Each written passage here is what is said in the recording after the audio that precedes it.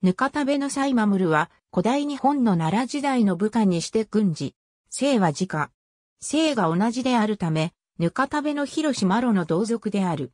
俗日本記巻第28によると、天平神後3年4月には、異界が、外姓七位上で、長戸国と浦団のタッケ氏。銭100万と稲1万束を朝廷に献上し、その結果、外十五ゆえが与えられ、豊浦軍の軍事に任じられたという。この年の8月15日に神護慶雲と改元されている。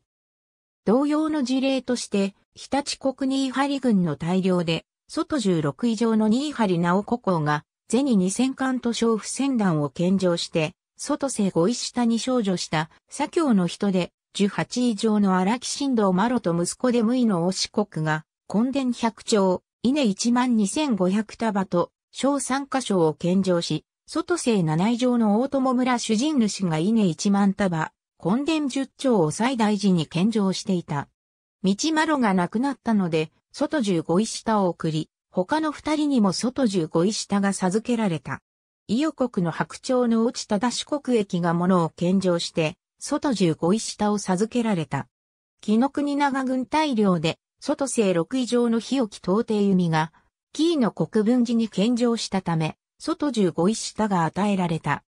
土佐国秋軍少量で、外十六石下の凡寺家、伊賀麻呂が稲二万束、牛六十頭を最大寺に献上したため、外十五以上に少女した十八位の船木忠芝守るが、物を献上したため、外十五位下に少女した。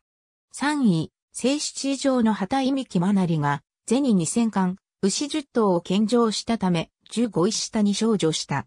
伊予国馬軍本寺担ぐ人が、銭百万分、朝布百単、畜笠百貝、稲二万束を献上し、外十六位下に少女し、父親の稲積も外十五位下に少女した。などが挙げられる。ぬかたべの広島ロとの血縁関係や、その後のことについては不明である。ありがとうございます。